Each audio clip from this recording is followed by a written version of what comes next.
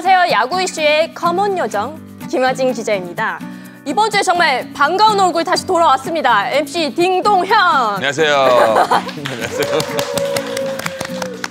아니 저번 주 어디 가셨어요? 그동안 뭐 하고 지내셨나요? 지난주에 안경현 선배 나오셨잖아요. 네네네. 집에서 좀 분리수거하고 아. 설거지도 하고 네. 오래간만에 가정을 위해 아, 충실했습니다. 이렇게 가정적인 남자. 그렇죠. 네. 분리수거 날짜가 근데 그날이었어. 아 그래요? 자 이번 주에도 정말 재미있는 이슈들이 많았었는데요. 어떤 이슈들이 있었는지 한번 다 같이 함께 보도록 합시다.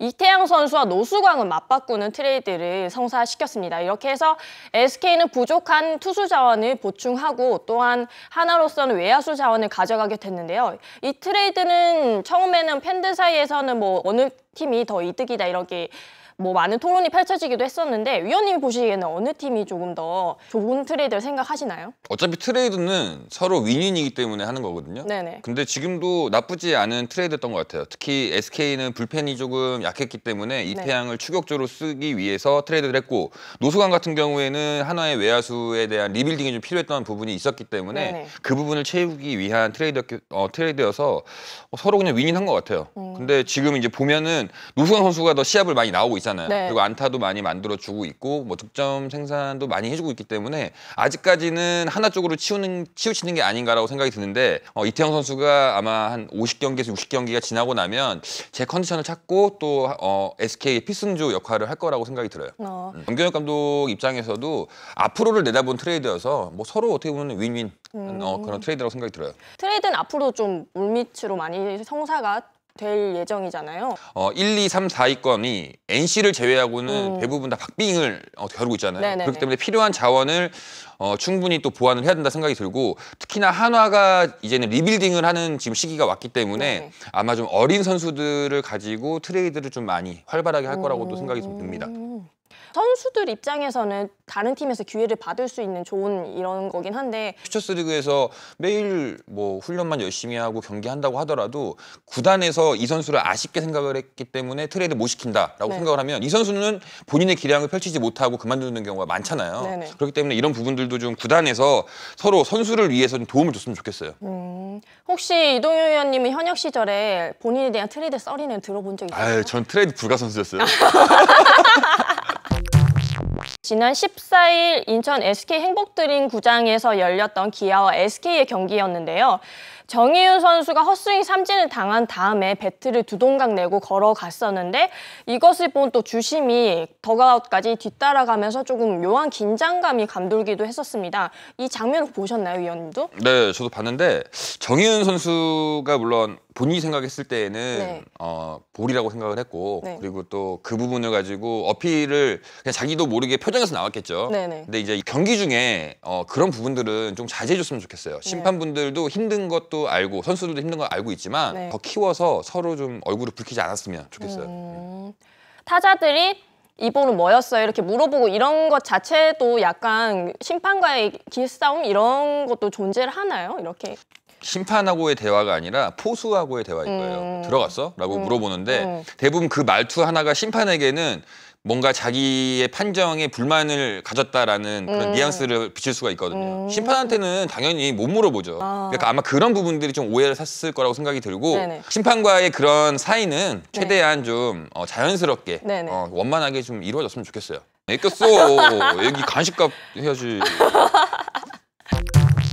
오승환 선수가 전격적으로 마무리로 투입되게 되면서 한미 통산 400세이브. 자, 저번 주에도 제가 부른 거 보셨죠? 예. 두둥, 두둥, 라젠 라젠카, 세이버 오승환 선수이기 때문에 더더욱이 이 400 세이브라는 존재감 자체가 더 크게 부각이 되는 것 같고요. 400 세이브를 할 만큼의 또 몸을 정말 잘 관리를 했잖아요. 축하해줘야죠. 네. 예, 그리고 제 친구 중에 제일 잘 나가는 친구이기 때문에 저는 뭐 대기록은 네. 당연히 축하해야 하고 또 모든 사람들에게도 축복을 받아야 되는 기록이라고 생각이 들어요. 오승환 선수가 중간 개투로 나왔을 때는 말씀대로 실점도 하고 그랬는데 정말 마무리도 딱 가게 되니까 구위가 더 좋아진 느낌도 들고. 그럼요. 원래 네. 본인의 옷을 입으면 그만큼 더 편하듯이 네. 아마 오승환 선수도 이 마무리로 가면서 네. 본인의 옷을 갖춰 입었기 때문에 이제는 본인이 하고 싶은 대로 투구하고 또 본인이 맞고 나서 요즘 또 세레머니 또 하잖아요. 네. 강민호 선수하고 또 이것도 하잖아요. 네. 예, 그렇게 이것 때문에라도 오승환 선수가 마무리를 꼭 해야 될 것 같아요. 아 이게 이게 멋있어서. 어, 멋있더라고. 나한 번도 안 해봤거든. 네. 저도 기분 참 이상하더라고. 제가 기자 시절 초창기에 오승환 선수를 봤었고 또 해외를 진출하는 거 봤는데 또 다시 돌아와서 던지는 거 보니까 저도 나이 많이 먹었더라고요. 저 지금 화면 봐요. 갔잖아. 그만하시죠. 바꿔야 되겠다. 정색 교정으로. 김준태 선수가 점점 롯데 주전 포수로서 자리를 잡아가고 있는데 이 김준태 선수의 티셔츠도 정말 화제를 모으고 있어요. 스트레일리가 직접 제작을 해서 승리의 토템으로 입기 시작하면서 지금 절찬리에 판매 중입니다. 뭐 SBS 스포츠에서 티셔츠로 만들고 싶은 사람 있으세요? 이렇게 승리의 토템으로? 저요? 네. 아 있죠. 네. 우리 작가님. 이의감 팬 작가님인데. 스포츠 경향에서 네. 만, 만들고 싶은 분의 티셔츠? 어, 뭐 국장님 막 이런 거 해 그러면 어 진짜 저희 국장님의 얼굴을 제 티셔츠로 만들겠습니다. 만들 거예요? 네? 만들 거예요? 넘어가시죠.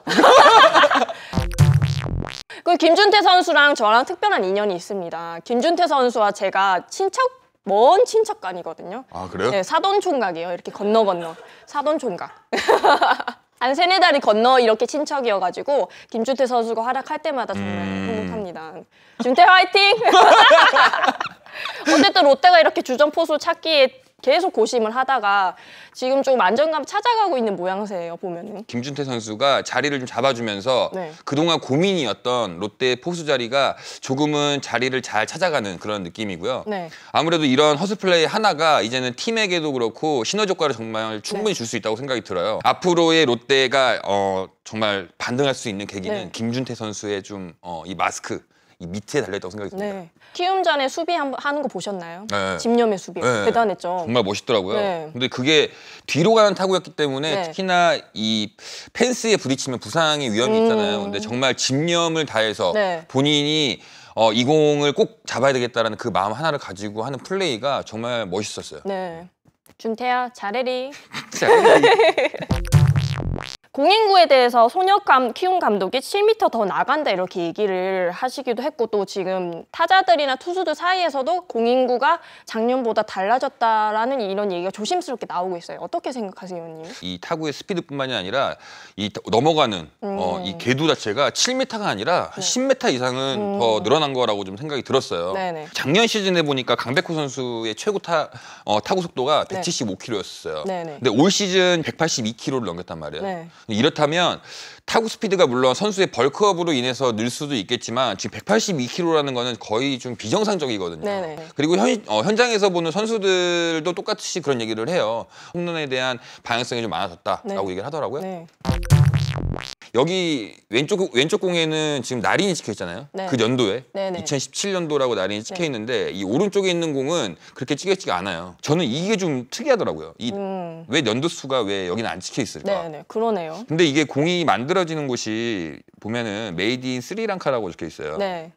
근데 지금 이제 코로나 때문에 음. 어 조금 공 수요가 음. 어렵잖아요. 네. 그렇기 때문에 이전에 나와 있던 공들을 조금 어, 더 쓰는 게 아니냐라는 음. 의, 의문들도 하더라고요. 맞아. 그런 얘기도 돌더라고요. 네. 근데 뭐 이런 거는 까봐야 돼요 일단. 음. 어 뭐든 한번 까보면 되잖아. 음. 자, 그래서 저희가 까보기로 했습니다. 안에 내용물이 어떤 게 들어있는지 궁금하실 수 있으니까 그거를 제가 한번 이렇게 살짝 한번 열어볼게요. 근데 네. 이거는 탱탱볼이다 아니다를 떠나서 팬분들께서 마- 많이 궁금해하시잖아요. 그렇기 때문에 단면적으로 이 가죽 안에 들어있는 재질이나 어, 그런 부분들을 좀 보여드리고자 하는 거니까 네. 뭐 그거에 대해서는 크게 뭐 오해를 네. 안 하셨으면 좋겠어요. 예, 이거 좀 해줘야 돼요. 예. 유튜버. 음. 뭐 음. 진짜 할 일 없으면 이렇게 까요 맨날. 음. 이렇게 해서 그리고 이게 이제 대망의 이 세 번째 이건 털시 같아요. 이 안에는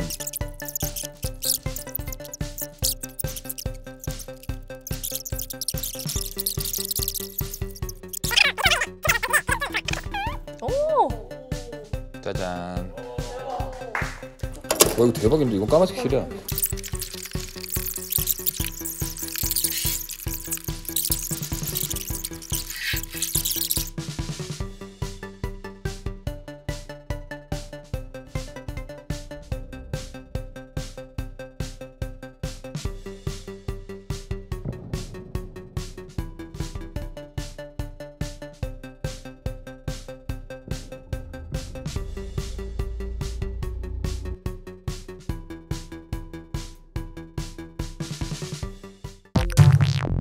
이번에 이슈를 한 주씩 또 정리해 보도록 하겠습니다. 누가 더 개이득인지는 더 지켜봐야 안다. 할 말이 있었으니까 갔겠지. 네, 할 말이 있었나 보죠. 뭐. 네. 오승환 선수 축하드리, 축하드리고요. 좋겠어요. 집에 트로피 하나 더 생겨서. 준태야 가문의 영광이다. 7m가 더 나가면 이 선수, 투수들은 웁니다. ERA. 음. 구독과 좋아요, 알람 설정까지 끝, 끝, 끝, 꾹꾹꾹 꾹꾹. 꾹. 다음 주에 또 봐요. 안녕. 꾹.